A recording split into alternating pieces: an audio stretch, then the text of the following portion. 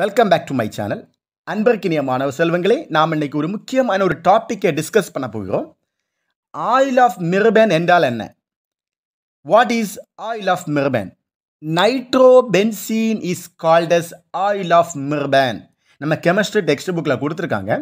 Nitro benzene is called as oil of mirbane இப்போ benzene on heated with concentrated nitric acid and concentrated sulfuric acid at the temperature is about 330 Kelvin. We get nitrobenzene.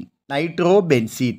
இதை தான் நம்ம என்ன சொல்கிறோம் oil of மிர்பேன் சொல்கிறோம் very very important question முக்கியமாக படிச்சிருங்க what is oil of mirbane கேட்பாங்க nitrobenzene is called as oil of mirbane benzene on heated with concentrated sulphuric acid and nitric acid at the temperature is about 330 Kelvin. We get nitrobenzene. This is called oil of Merban. Thank you all of you. Thank you. Have a nice day.